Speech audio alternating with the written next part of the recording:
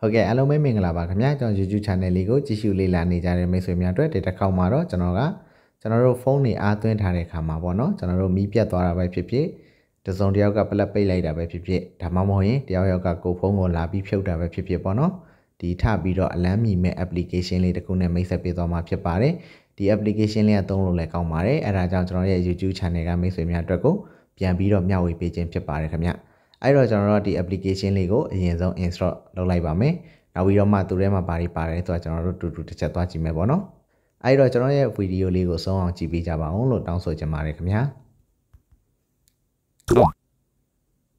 Full battery and theft alarm. ဒီ application လေးပေါ့နော်ကျွန်တော် install တစ်ချက်လုပ်လိုက်ပါမယ် You want to install this app? Full battery and theft alarm. Install button. Full battery and theft alarm. ကျွန်တော်တို့ install လေးတစ်ချက်လုပ်ထားပါတယ်နော်ဒီကောင်လေးကကျွန်တော်တို့ တော်တော်များများလုပ်လို့ရပါတယ်ကျွန်တော်တို့ဒီဖုန်းပေါ့နော်ပူးလာလို့ရှရင်လည်းသူတတိပေးတဲ့ဟာလည်းလုပ်လို့ရတယ်ဒီအားပြေးလို့ရှရင်လည်းကျွန်တော်တို့ဒီမြည်ရယ်ပေါ့နော်ဒါကိုကြိုက်တယ်လို့အသုံးပြုလို့ရပါတယ်အဲ့တော့ကျွန်တော်နဲ့တူတူ install လုပ်ပြီးရတဲ့ချက်ကြည့်မယ်ပေါ့နော်သူ့ကိုခုလောလောဆယ်တော့ install လေးခဏလုပ်ထားပါမယ်ခင်ဗျာ install လုပ်တာပြီးသွားပါပြီ Full back. App installed. A button. App installed.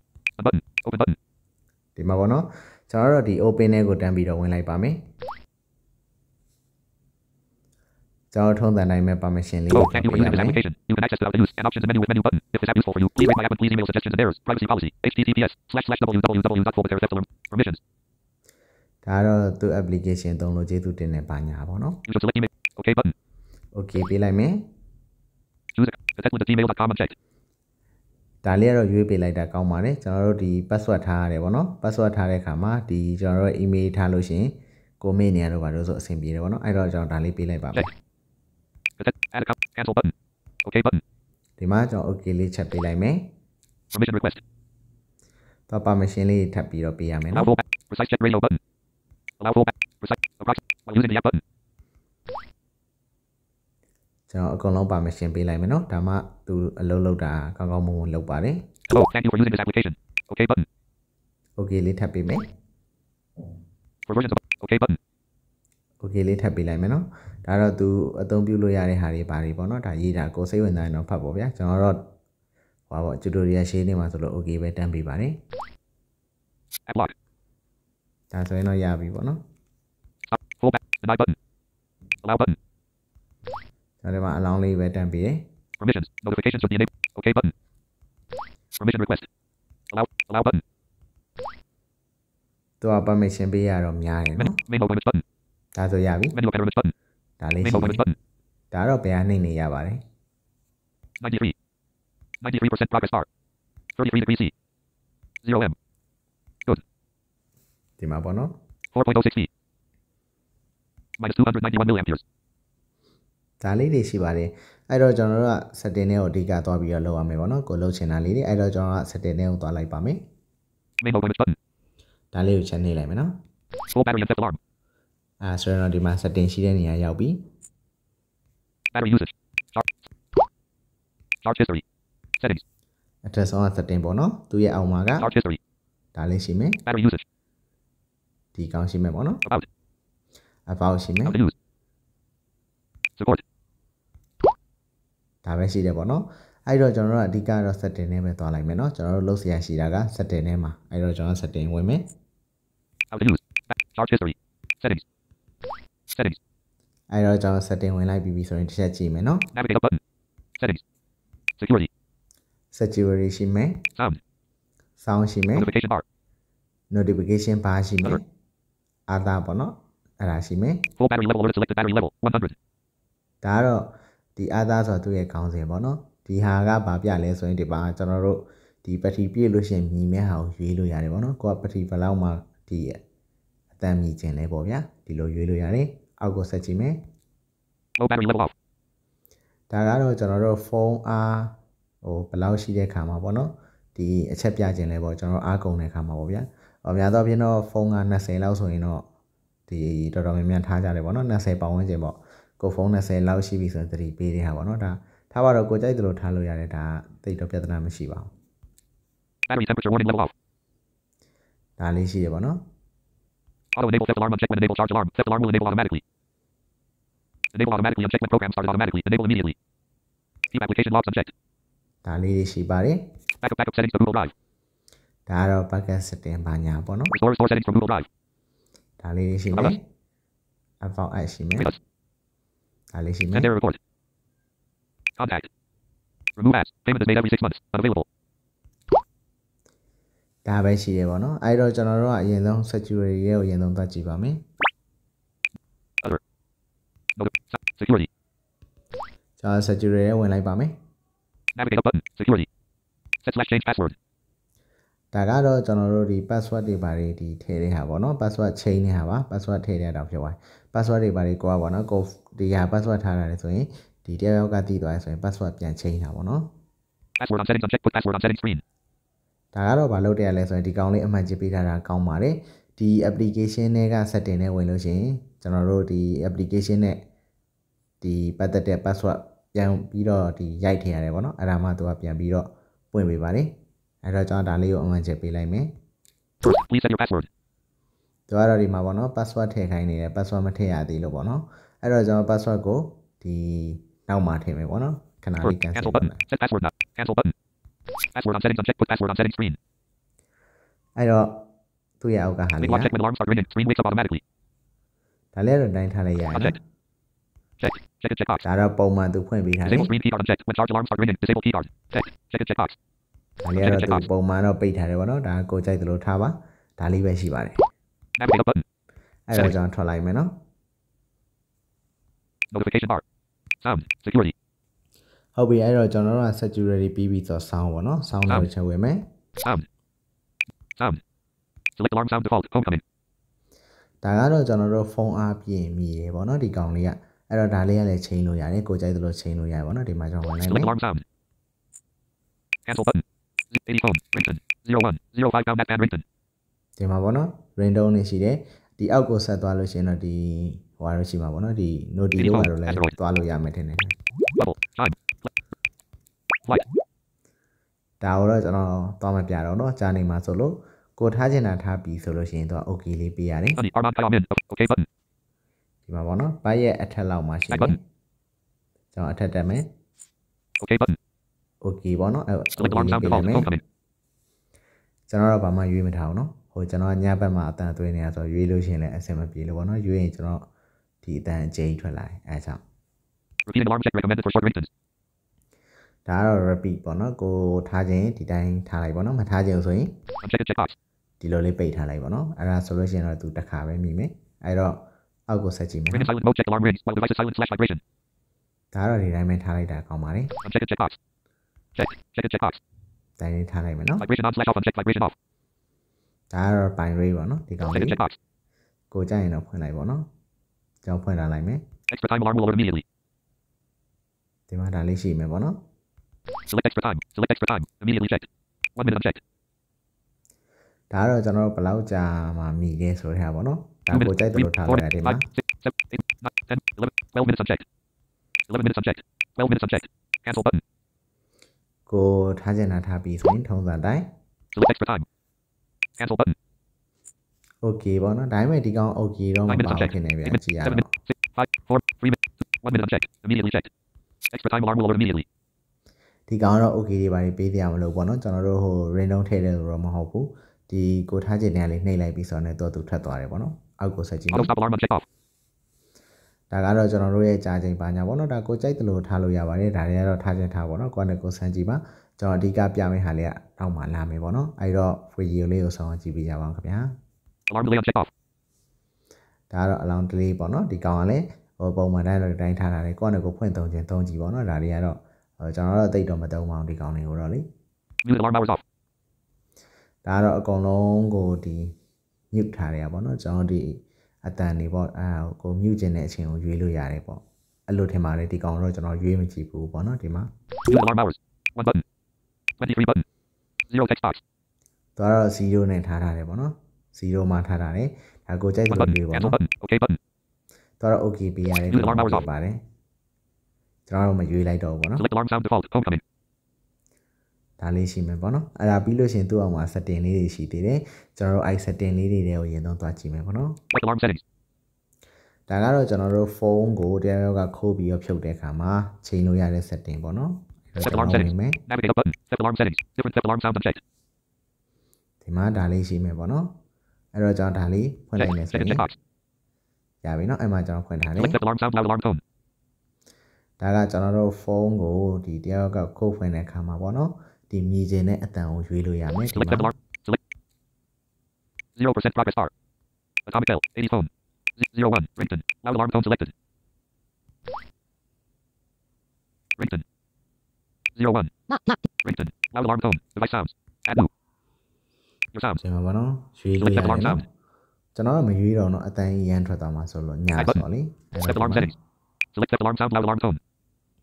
ဒါကိုကြိုက်တဲ့ဟာရွေးထားလို့ရတယ်နော်သူ့မှာထားတာတွေကတော့အရန်စုတဲ့အတန်ကြီးကလေအဲအဲ့လိုမျိုးပေါ့ကျွန်တော်တို့အချက်ပြတဲ့အတန်မျိုးပေါ့ဗျာအဲ့တော့ဒါကိုကြိုက်တယ်လို့ရွေးလို့ရတယ်အောက်ကိုကြည့် Repeating alarm check recommended for short ringtones. ဒါကတော့ထက်ဟိုထက်တယ်လဲလဲမိတယ်ဟာလေးပေါ့နော်ကိုမမိခြင်းဆိုရင်တော့ဒီ Check and တိုင်း check box. ပိတ်ထားလို့ရတယ် Check and check box. ဒါပေမဲ့ဒါကတော့ဒီနေရာမှာဖွင့်ထားလိုက်တာကောင်းပါတယ်ဘာလို့လဲဆိုတော့တယောက်ကခိုးဖြုတ်လို့ရှိရင်ပဲဖြစ်ဖြစ်ပေါ့နော်ဟိုဟာပဲဖြစ်ဖြစ်ဒီတောက်လျှောက်မြည်နေတာကောင်းတာပေါ့နော် အဲတခုရှိရကျွန်တော်ရှိရပြောခဲ့သလိုပေါ့ဗျာမီးပြတ်သွားရင်လည်းသူမြည်မယ်နော်ဒီပလက်ပိတ်ပလက်ကိုပိတ်လိုက်တာတော့ဘာလို့ဆိုရင်လည်းမြည်မယ်အဲ့လိုလေးတော့ရှိတတ်တယ် Ring in silent mode check alarm rings while device is silent slash vibration. ဒါလေးတွေရှိ Vibration တယ် on slash off check vibration. ဒါကိုကြိုက်ရင် Uncheck and check box. Check. ဖွင့် Check ပါ and check နော် box. ကိုမကြိုက်ရင်မဖွင့်နဲ့ပေါ့ Navigate up button. သူကလည်းကုန်ပြီဒါပဲရှိရတော့တောင်းထွက်လိုက်မယ် Set volume levels. Android. Low back. Theft alarm settings. ဒါကကျွန်တော်တို့ခုနကြည့်ခဲ့တဲ့ setting ပေါ့နော်ကိုဖုန်းကိုဒီတစ်စုံတစ်ယောက်ကခိုးဖြုတ်ရင်သူကချိန်လို့ရတဲ့ setting ပေါ့နော်နောက်တစ်ခုကြည့်မ Low ယ် battery alarm settings. ဒါကတော့ကျွန်တော်တို့ဖုန်းအားနေရင်ဘယ်လောက်လောက်အားနေတဲ့အခါမှာကိုကမြည်မလဲဆိုတော့အတန်ကိုတွားယူလို့ရတယ်ကျွန်တော် Low battery alarm set. Nav- low battery alarm settings. Different low battery alarm sounds unchecked. Check. Dali left Check and check one box. behind me. Low battery alarm sound default. Homecoming. ဒါကသူပုံမှန်ရှိတဲ့အတန်ပေါ့နော် ဒါကတော့ရွေးလို့ရှရင်တူတူပါပဲခုနကျွန်တော်ရှေ့ကပြတဲ့ဟာနဲ့တူတူပဲအဲဒီတော့မပြတော့ဘူး Repeating နော် alarm unchecked recommended for short ringtones. Ring in silent mode unchecked alarm rings. Rings while screen is on. Vibration on slash off unchecked vibration off. Rings while screen is on unchecked alarm even rings when screen is on. ဒါတွေကတော့တူတူပဲပေါ့ Vibration နော် auto stop alarm unchecked off. Alarm delay unchecked off. နော် Navigate up အဲ့ button. တော့ရွေးရလဲတူတူပဲပေါ့နော်အဲ့တော့ကျွန်တော်ကဒီမှာမရွေးတော့ဘဲနဲ့ထား Low battery alarm ပြရ settings. မယ်နော် Navigate up button. ဒီ Sound. မှာကျတော့ပြန် Low battery alarm settings. Android wear alarm settings. တော့မှမြင့်အလယ်မှာပဲရှိတယ်ပေါ့နော်သူရဲ့ setting လေးတွေကဒီ setting လေးလည်းရှိနေ Android wear alarm settings. ဒါကလည်းတူတူပါပဲကျွန်တော်ဝင်မပြတော့နော်ဒီကောင်တော့ Set volume levels. ဒါကတော့ for loop ပေါ့နော်ကိုရဲ့ဒီအတန်လေးပေါ့နော် for loop တွေကိုဟိုဘယ်လောက်လောက်မှာကိုထားခြင်းလဲတရားထားခြင်းလားကိုထားခြင်းလားလောက်ကိုဒီထဲမှာဝင်ပြီးတော့ထားလို့ရတယ်နော် Select volume level. Select vol- set alarm volume. ဒီကောင်လေးရှိမယ်100% slider. ဒါကတော့တရားပြေးထားတာလေ Level 15. Set theft alarm volume. ဒီကောင်လေးရှိမယ်ပေါ့နော်ဒါလည်းသူတရားထားတာလေ100% slider. ဒါကိုမကြိုက်ရင်တော့ short လိုက်လို့ရတယ် Level နော် 15. Set low battery alarm volume. ဒါကတော့အားကြတဲ့ခါမှာမြည်တဲ့ for loop ပေါ့နော်100% slider. ဒါလည်းဒီလောက်ထားတာလေအအကုန်လုံးကတော့သူကအပြေထားပေးထားတယ်ကိုကနဲ့ကိုကိုလိုချင်တဲ့လောက်ကိုကိုကနဲ့ကို short ပေါ့နော်ဒီမှာ short ရင် short ရတယ်93% progress. 86. ဒီမှာပေါ့နော်ဒါ short လို့ရတယ် 93. 100. ဒီလိုလေး short တာပါ 93. 80. Level 12. ဒီမှာပေါ့နော်သူက level ဆိုရင်12ဖြစ်သွားတယ်ပေါ့နော်ဒီကောင် 80% slider. 86% progress. 86ဆိုရင် Level 13. level 13ပေါ့နော် 86% slider. 93% progress. 93ဆို Level ရင် 14. 93% level slider. 40ပေါ့နော် 100% progress. Level 15. သူက100ဆိုရင် level 15ဆိုပြီးပြတယ် Set နော် smartwatch alarm volume. 100% slider. Level 15. Cancel button. OK button. သူကတော့ဒီမှာပေါ့နော်ကိုချိန်ချင်တာချိန်ပြီးဆိုရင်သူလည်း okay ပေးရတယ်အဲ့တော့ကျွန်တော် okay ပေးလိုက် Set volume နော် levels. ချိန်တော့ Do not stop until unplugging. Uncheck this option. Disable stop alarm button. You can only stop alarm with unplugging. ဒီကောင်လေးရှိမယ်ပေါ့နော်ဒါကတော့ဒီ plugin အပိုင်းလေးတွေပေါ့ Connection sound settings. Do not stop until unplugging. Uncheck this option. Disable stop alarm button. You can only stop. Connection sound settings. ဒီမှာဒါလေးရှိမယ် Do not. Connection sound settings. Connection sound settings. Nav. Connection sound settings. Plugin sound settings. ဒီမှာပေါ့နော်သူကဒီ plugin sound setting ရှိ Plugin တယ် sound. Uncheck charger connection sound. Plugin sound settings. ဒီမှာပေါ့ Plugin နော် sound. Uncheck charger connection sound. ဒီကောင်လေးကိုကျွန်တော်အမှန်ချစ် Check. ပေးလိုက်မယ် Check it. Different plugin sound unchecked. Plug. Different plugin sound unchecked. ဒီကောင်လေးလည်းအမှန်ချ Check. စ်ပေးမယ် Check. Select plugin sound default plugin tone. ဒါကတော့ကျွန်တော်တို့အားသွင်းတဲ့အခါမှာဒီမြည်တဲ့အတန်လေးပေါ့နော်ကိုကြိုက်တယ်လို့ထားလို့ရတယ်ဥပမာ ကိုကဒီဖုန်းကို charging ထိုးလိုက်လို့ရှိရင်အတန်လေးတွေပေါ့နော်ကိုကြိုက်တယ်လို့ထားလို့ရတယ်ဒီထဲမှာတော့ကျွန်တော်တို့ကိုရီးယား random တွေရှိမယ်နောက်ဒီ message တွေရှိမယ်ပေါ့နော်အဲ့တော့ကိုကအဓိကကိုကြိုက်တာကိုထားလို့ရတယ်အထားတော့မပြတော့เนาะရှေ့ကအဲပြောတယ်လို့ပေါ့ဒီညဘက်တွင်တာဆိုတော့လေ Unplug sound settings. ဒီမှာပေါ့နော်သူက unplug sound setting ဆိုပြီးရောက်တယ် Unplug sound settings. ဆက်ချိန်မယ်နော် Unplug sound unchecked charger ejection sound. ဒါလေးလည်းမှန်ကြည့်ပေးထားလိုက်မယ် Different unplug sound unchecked. ဒီမှာတော့သူအမှန်ကြည့် Unplug ပေးလို sound က် check charger ejection. Uncheck it checkbox. ဆက်ပြရယ်နော်ကျွန်တော်ပြန်ပြီးတော့အမှန်ကြည့်ပေးမယ် Check. Check it checkbox. အဲတက်ခါပဲခုနကပြီးတော့တော့ပြတယ်ခုနကတော့တစ်ခါတော့မပြတော့ Unplug sound check charger. Uncheck it checkbox. Check. Check it checkbox. Different unplug sound unchecked. Check. ဒီကောင် Check လေး it လည်း checkbox. ပေးလိုက်မယ် Select ပေါ့ unplug နော် sound default unplug tone. ဒီမှာ Different ပေါ့နော် unplug sound checked. Uncheck it checkbox. Select unplug sound default unplug tone unavailable. Different unplug Hello? sound unchecked. ဒီကောင်အမှန်ကြည့်ပေးမထားဘူးဆိုရင်ကိုကြိုက်တဲ့အတန်ပြောင်းလို့မရဘူးပေါ့နော်သူ့မှာပုံမှန်ပါတဲ့သူ့မှာပေါ့နော်ပုံမှန်ပေးထားတဲ့အတန်ပဲမြည်နေမယ်ပေါ့နော်ကိုကကိုကြိုက်တဲ့အတန်ကိုပြောင်းခြင်းနဲ့ဆိုရင်တော့ Select unplug. Different unplug sound unchecked. ဒီကောင်လေးကိုအမှန်ကြည့်ပေးလိုက်ပေါ့နော်ကျွန်တော်ပေးလိုက်မယ်အဲဆိုပြောင်းလို့ရ Select unplug sound. တော့တော့ဒါပဲပေါ့နော်အဓိကကတော့ကျွန်တော်ဖုန်းအားသွင်းတဲ့အခါမှာကျွန်တော်တို့ဒီအသွင်းဖြုတ်လုပ်တဲ့အခါမှာပေါ့နော်ကိုကြိုက်တဲ့အတန်လေးတွေနဲ့ဟိုခွဲထားလို့ရတယ်ဟိုကျွန်တော်တခုတော့ထားလိုက်မယ်နော်ဒီအားလေးကတော့ message ဆိုတော့ အတူဝင်ပါဆိုတော့ Select unplug sound default unplug tone. Select unplug နော် sound. သူတွေကိုကျွန်တော်ဝင်လိုက်မယ်ဝင်ပြီးတော့ခဏဆက် Atomic ပါ bell. မယ်နော် Cancel button. Cancel button. OK button. Atomic bell. Silent. Bass. Beep beep. Bubble. Shop. Classic bell. ကျွန်တော်အောက်ထိသွားလိုက် Classic မယ် bell. နော် Homecoming. Oh, oh, over. Big. Pulse. Shimmer. Sparkle. Synth bell.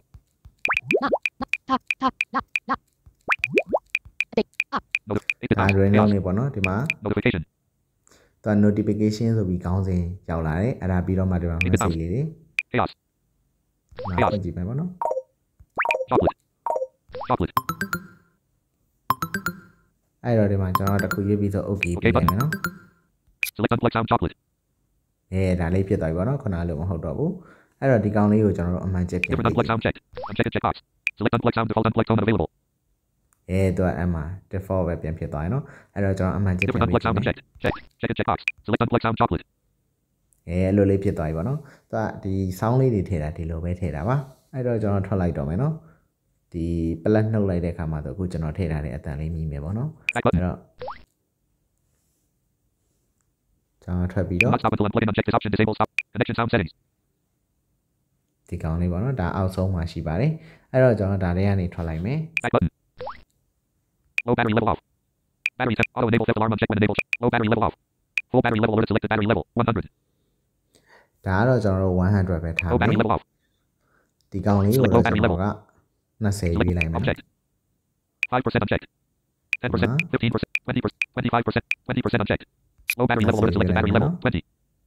ဒီမှာ20ဖြစ် Battery သွားပြီ temperature warning level off. ဒါကတော့ကျွန်တော်တို့ဖုန်းအပူချိန်ရွေးရပါတော့ဒီ Select မှာကျွန် temperature. 30, 31 degrees C object. 32, 33 degrees, 34 degrees C object. 30, 30, 31 degrees C object. 30 degrees C object. Object. 30 degrees C unchecked.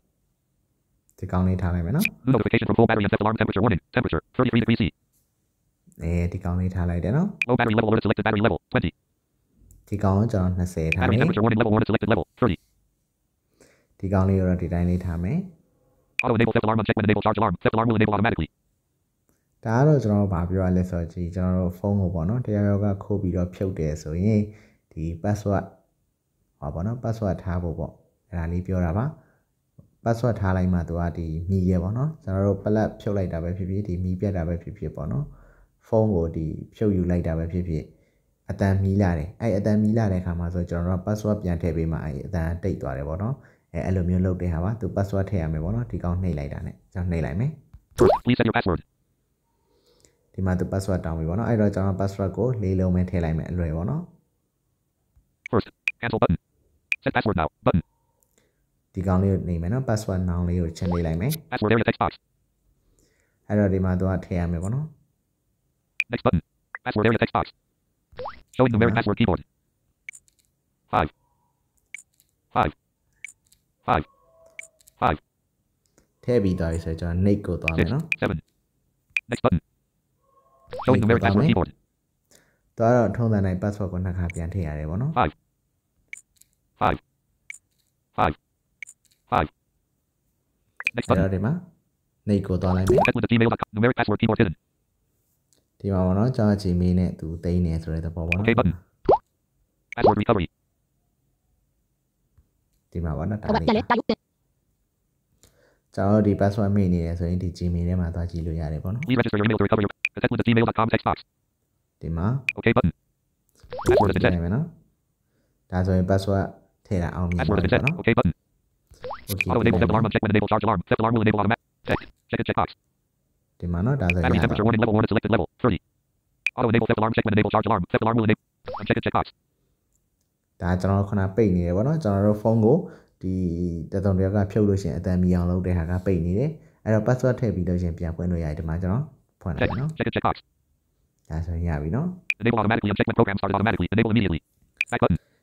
ဒါတွေကတော့တိတ်အရင်မကြည့်ပါဘူးကိုယ့်အနေကိုဒီစမ်းကြည့်ခြင်းတော့စမ်းကြည့်ကြပါ Back တော့ button. အဲ့တော့ကျွန်တော်ကတော့ panel ထွက်ပြီးတော့ဒီ security တွေကိုပြန်သွားမယ် Full battery and theft alarm. အဓိကလုံးစရာလေးကျန်တယ်ပေါ့91%နော် progress bar. Main menu of pyramids button. ဒီထဲကနေဝင်လဲရတယ် Settings. Settings. setting တွေကိုကျွန်တော်ဝင်ပြီး security ဝင် Backup မယ် backup set. Restore source. Auto enable theft alarm check. Full back. Other. Notification. Sound. Security. security ကျွန်တော်ဝင်ပြီးပြီ Wait watch ဆို check ရင် when alarm start ringing. Screen. Password on settings uncheck. Put password on settings screen. ဒီ Check. ကောင်လေး Check ကို it checkbox. အမှန်ချစ်ပေးမယ်ပေါ့နော်ကျွန်တော်တို့ခုနဒီကောင်အမှန်ချစ်ပေးလို့ရှိရင်ဟို password တောင်းတယ်ပေါ့ပေါ့ password တောင်းပါတယ်ရှေ့တုန်းကတွေ့တဲ့အတိုင်းပေါ့နော်အဲ့တော့ကျွန်တော်ဒါကိုအမှန်ချစ်ပေးပြီးသွားပြီအဲ့တော့ panel ထွက်မယ် Back button. Full battery and theft panel alarm. ထွက်မယ် Main mode limits button. အဲ့တော့ကျွန်တော်ဒီမှာဝင်လိုက်မယ် Settings. Charge history. Settings. setting နဲ့ဝင်ကြည့်မယ်နော် Password area text box.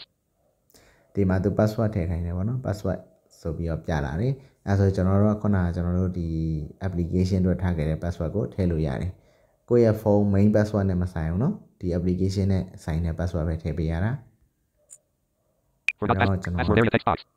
Forgot password button. ဒီမှာတော့ password မေ့အနေနဲ့လုပ်လို့ရတ Password ယ် area text box. Showing numeric password keyboard. ကျွန်တော်နှိပ်လိုက်မယ် Five. Five. Five. Settings. Numeric password keyboard hidden. သူကဘာမှလုပ်စရာမလိုပေါ့နော်ကို password ကိုအပြည့်ရိုက်ထည့်ပေးလိုက်ပြည့်တာနဲ့သူကလည်းသူ auto ပွင့်ပေးတယ်ပေါ့နော် okay တွေပါတွေပေးစရာမလိုပါဘူးအဲဒီကတော့ဒီ application လေးသုံးတာတော့ဒီလောက်ပါပဲခင်ဗျဟိုထွေထွေထူးထူးကြီးတော့လည်းမရှိပါဘူး ကျွန်တော်ဒီစမ်းမပြဘူးဆိုတာညာဘက်ဆိုတာဒီကျွန်တော်ဖုန်းဒီဖြုတ်လိုက်တာတော့နှုတ်လိုက်တာတော့ဆိုအတန်ဝင်နေပေါ့နော်အဲ့ဒါကြောင့်မို့ကျွန်တော်လုံးမပြတာပါကျန်တဲ့ဟာတွေကတော့တကယ်စမ်းကြည့်အဆင်ပြေပါတယ်ဒီ application လေးကတော်တော်များများလဲကျွန်တော်ရှေ့ကပြောခဲ့သလိုသုံးကြပါတယ်ဒီဂျူရီတွေကသွင်းနေကျွန်တော်စကားပြောတာတော့အဆင်မပြေဘူးပေါ့နော်အဲ့အတွက်နားလဲပေးကြပါလို့စကားပြောမြန်တော့လေကျွန်တော်နည်းနည်းမြန်တော့မှားတယ်ပေါ့နော်အဲ့ဒါကြောင့်ပါလို့ဒီနေ့ဂျူရီတွေကလည်းတော့ဒီလောက်ပါပဲခင်ဗျအားလုံးကျေးဇူးတင်ပါတယ်ခင်ဗျာ